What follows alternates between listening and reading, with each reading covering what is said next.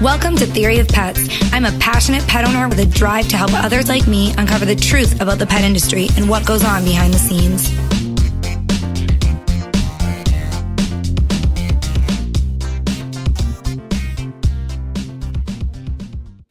Hey guys, I've got a great interview for you today. If you remember one of my previous podcasts, I spoke with Dr. Jennifer Adolphe. She is the pet nutritionist for Petcurean. Pet Curian is a premium pet food company for dogs and cats, and they've just released a new line called Gather. And Gather is made with certified and organic ingredients, and it also focuses on sustainability. Sustainability is something in the pet industry that I don't think a lot of pet pet parents are aware of.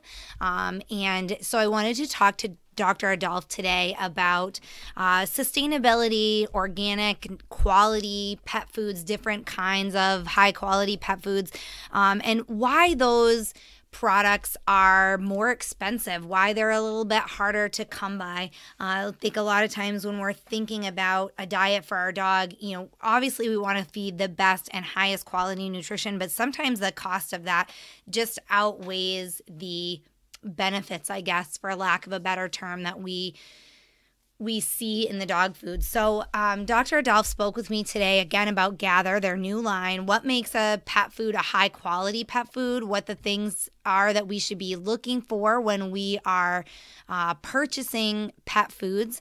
And then again, you know, just about. Um, sustainability and those organic, healthy, natural ingredients. So I will let you guys listen to the interview and then I'll come back. Last time we spoke about the humanization of pet food, and we're seeing that trend in the pet industry now. Um, so we're seeing more and more pet owners feeding natural, organic, um, you know, higher quality. We have like the paleo diet for pets now. Um, so we're seeing that humanization. Can you give our listeners just a quick recap of that trend and why it's becoming so popular? Yes, for sure. Humanization of, of pets and pet food does seem to be continuing on the upswing. And we think it's because pets are increasingly being viewed as important members of the family, and people really want to feed their pets the same way that they feed themselves.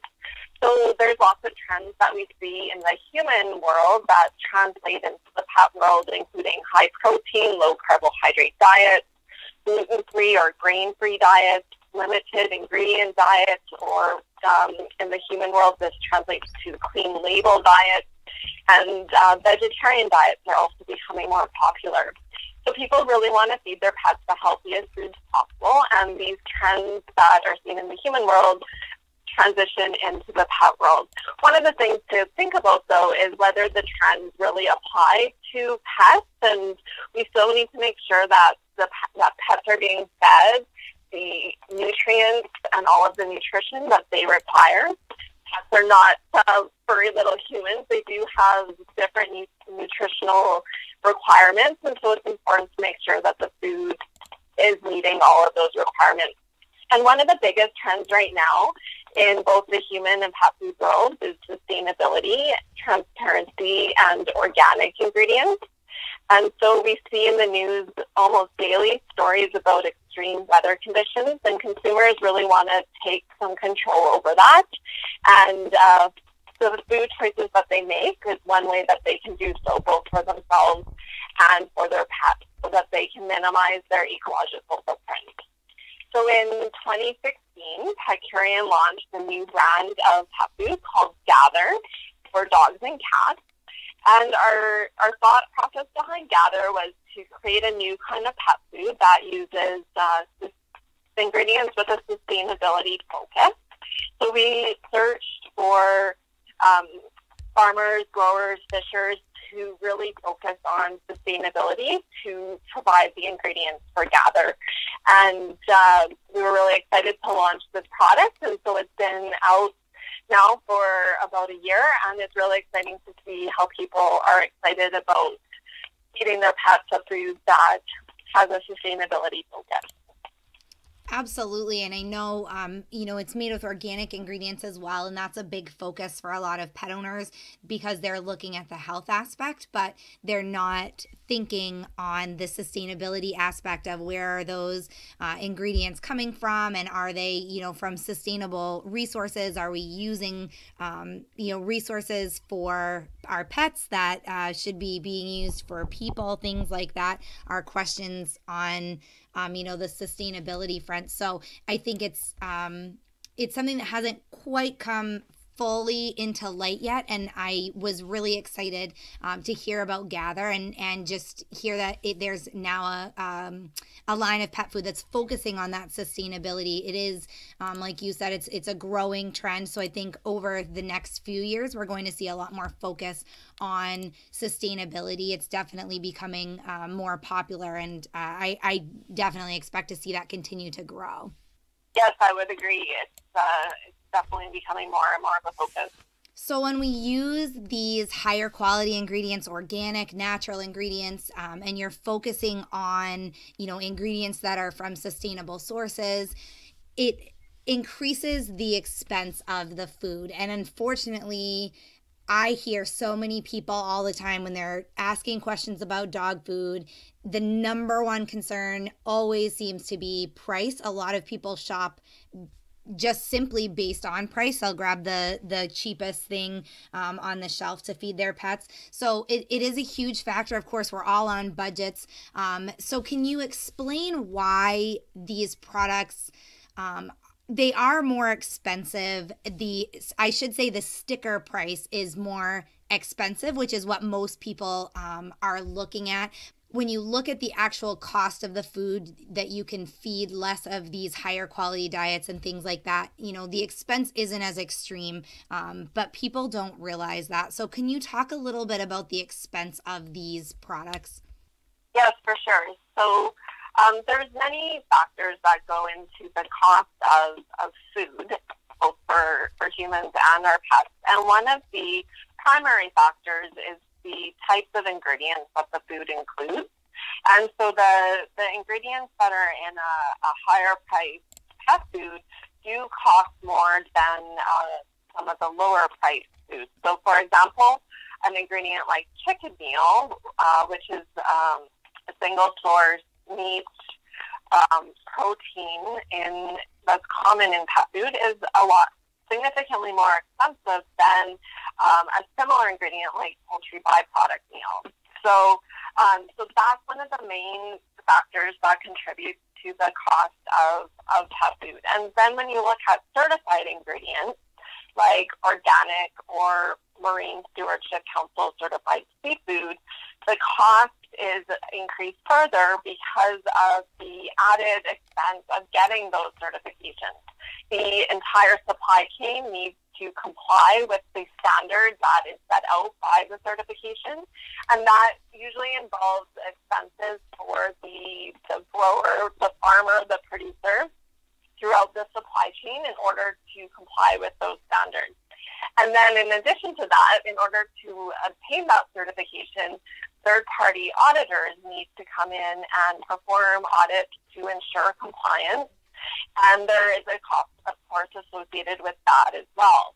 And so the more complex the certification, uh, the more the more cost is associated with it. So organic is actually quite an involved certification. It's a long process to to be in compliance with the organic standard. And so, as you can see, when you're shopping for your own groceries, organic foods are a lot higher cost than, than non-organic foods. And that has to do with uh, the type of growing methods, the actual certification audits themselves, etc.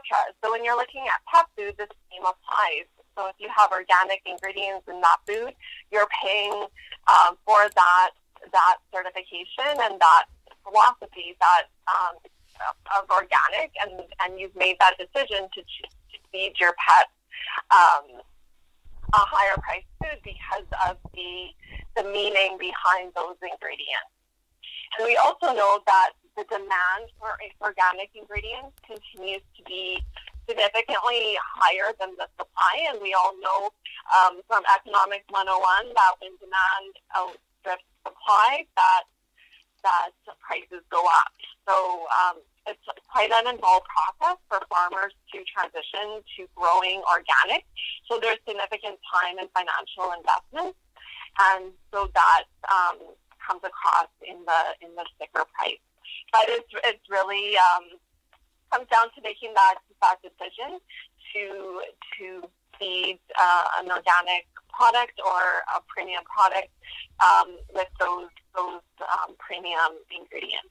Absolutely. You made some really excellent points that I think a lot of people don't really think about. And it's funny that when we're shopping for our own food at the grocery store, we do take into account those things. But then when we turn around and shop for pet food, we tend to not think as much about supply and demand, um, you know, issues like that, increasing the cost of our pets food. So um, some some great points there. And i think some the other things that people need to think about is um, and it's it can be difficult to do but um, comparing the price per serving of the food that you buy instead of just the price per bag. Um, obviously, bags run in different sizes. You can buy 25 pounds or 35 pounds of dog food at a time.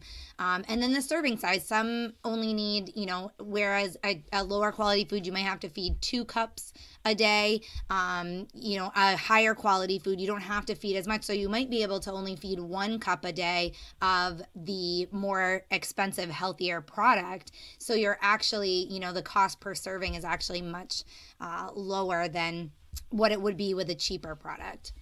Yes, and also on that note, something to think about is that um, we're we're approaching about fifty percent of the pet population being overweight or or obese, and that really means that pet parents are tending to overfeed their pets. So if you take some time to figure out the ideal amount of food that your pet needs to maintain an ideal body weight, and we have information on our website at petcurean.com about, um, we have what are called body score charts um, to help have parents identify if their pet's got an ideal body weight.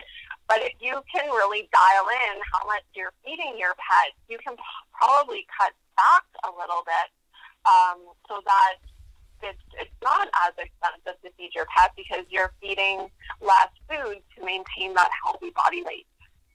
Absolutely, obesity is becoming an epidemic for for humans and um, for people. So I always if I get the opportunity to touch on obesity, obesity, I always try to because it is becoming such um, an issue. So, just for anybody that's listening that might be interested in looking at those body score charts, I'll link to those on our website as well. So um, they can click on there and jump over and see those charts because it is so important to make sure um, obesity, which is a huge topic for another day, but um, it leads to so many health issues with your pets. So, um, and, and also obviously, obviously expense is a factor. If you're feeding less, you're not paying as much for uh, your food. So I will link to that so people can get that information from petcurean.com as well.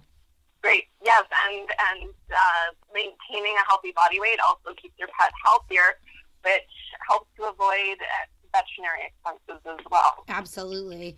So it's multi multifaceted. Absolutely. So now to get back to um, the ingredients, the higher quality ingredients, we have seen so many pet food recalls in recent years. Um, a lot of dog foods, a lot of dog treats. Um, there was the big issue with um, ingredients coming from countries that have limited regulations such as China. Um, so I think that brought to light, and a lot of pet parents are are realizing now that the regulations on pet food are much less strict than on human food.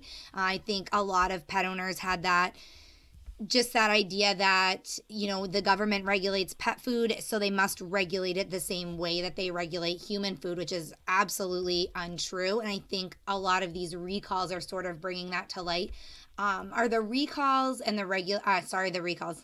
I mean are the regulations for um, organic, healthier ingredients, natural ingredients, are they more strict than the regulations that are on um, the pet foods made with lower quality ingredients? So the regulations for pet food are the same across um, the type of food or the type of ingredients, but what is different between a certified ingredients and a non-certified ingredient, such as an organic certified ingredient, is that the organic certified ingredient has had to go through kind of another level of scrutiny, um, and that in order to get that certification, the supply chain has had to undergo that third party audit in order to ensure compliance with the organic standard.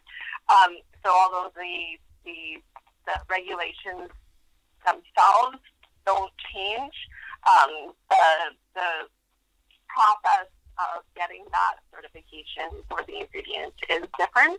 Um, and but just to clarify, in the in the U.S., there there actually are quite um, involved regulations for and we know as an industry there's always room for improvement in, in both the human and pet food regulations and food safety. Um, but the Association of American Feed Control Officials, in partnership with the FDA, um, does does uh, set the regulations for pet food. And so, when you're choosing a pet food, it's important to consider the the types of food safety steps that the company has in place to ensure um, production of high quality and safe food. And um, so looking at the company's website or contacting them directly for this information is important. And something else to consider is that companies that export around the world to lots of different com- to lots of different countries must meet the regulatory standards of all of those different countries. And so, and each country has slightly different regulations. So if a company is exporting um, around the world, then this just adds to the, the level of regulatory scrutiny that the product must undergo. And so this is an added insurance policy from a consumer perspective. So, um, so checking into that, uh, looking looking into the manufacturer behind your your dog or cat food is an excellent um, way to to ensure a added level of food safety. Excellent. That's great advice. Uh, if you have, let's say, two bags of dog food, one on the label says made with organic ingredients and the other says made with certified organic ingredients, is that the same thing or different? The term organic is is a controlled term, so you can't use the term organic without that ingredient being um, being certified through a, a certifying body. So um, if it says organic peas, for example, then that's a certified organic peas. Um, the there are different the organic regulations are are a little bit complex, and so there's different rules um, about how you can label a product depending on how much organic content is in the food. Um, and, but um, the term organic itself is, is a controlled term. So um, you're not allowed to use it unless it is a certified organic ingredient. Okay, excellent. Um, and what should pet owners be aware of as far as food labeling goes when they're looking for the a good quality food for their dog or cat? What are some of the things that they should be um, aware of and maybe looking for or not looking for? It can definitely be a daunting task to choose the right food for, for your pet. Um, Petcurean, we, we don't believe in a one for all philosophy for pets because each each dog and cat has its own unique needs. The food that that feeds well for one pet may not do so well for for another. So um, you can looking at the bag, um, reviewing the list of ingredients on the bag is a good place to start. Um, speak with the company. Each ingredient should be uh, selected to play a specific nutritional or functional role in the food, and it's important to note that pet foods must list the ingredients in descending order by weight. So the first ingredient in the ingredient list is the ingredient that the food contains in the greatest quantity. Also look beyond the label, evaluate the company behind the brand, ensure that the food is formulated by a qualified nutritionist so that it provides all of the nutrients that your pet needs.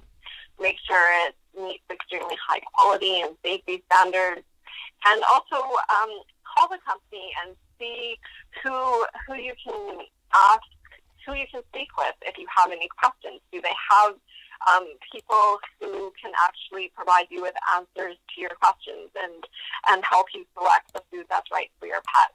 Um, on our website, Petcurean.com, we have a food finder, which is a resource that a lot of people turn to in trying to choose the right food for their for their pet. And we also have a, a team of health and nutrition specialists that people can actually uh, speak to in this uh, digital age and get some get some answers and some and answer nutrition questions related to their pets. So, finally, let's talk a little bit because, of course, as we touched on earlier, everybody is on a budget, and the food that you feed your pet is such a huge uh, part of your pet budget. So, for pet owners that are on a budget, what are some of the things or a few of the things um, that you think just absolutely must have in a quality pet food? So choosing a food really uh, depends on your type of pet, their breed, their life stage, their activity level, their overall general health, whether they have any health concerns. Um, so, so it's really hard to um, specify specific must-have. Um, but what's important is to try to choose a food that works works well for your pet. So, so read the label. Look for look for the ingredients. Does your pet have any adverse food reactions? Um, identifying those can be can be challenging, but looking at the ingredient label for ingredients that you suspect may not agree with your dog or cat is a is a first step. Also, look at the guaranteed analysis for information about protein, fat, and fiber levels and the calorie content. If your dog or cat is uh, carrying a few extra pounds, you may need to consider uh, weight loss, food. Um, and it's also important to remember that the feeding guidelines on the bag are really just a just a place to start. Um, energy requirements vary dramatically from one pet to another. Even even dogs or cats that look very similar in terms of their their weight and, and body condition may have very different calorie requirements. So it's important to adjust how much you're feeding based on their body weight and body condition score, not just the feeding guidelines on the bag.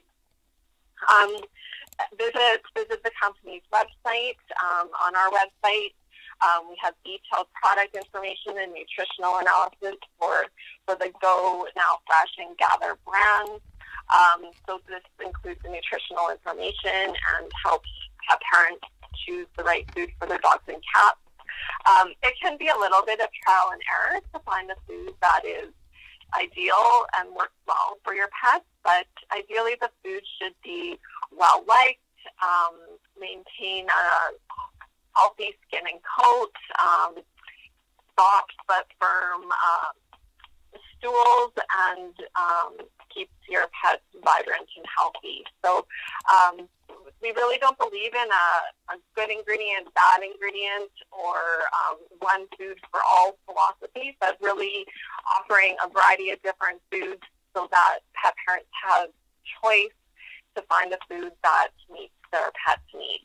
And what are some things, um, because so many people choose their food based just on price alone, what are some of the things that you would advise pet owners absolutely stay away from when they're shopping for a food for their pet? Um, again, there, there aren't really uh, good, good ingredients or bad ingredients. Um, the ingredients that are included in, in pet food must be nutritious and be approved ingredients.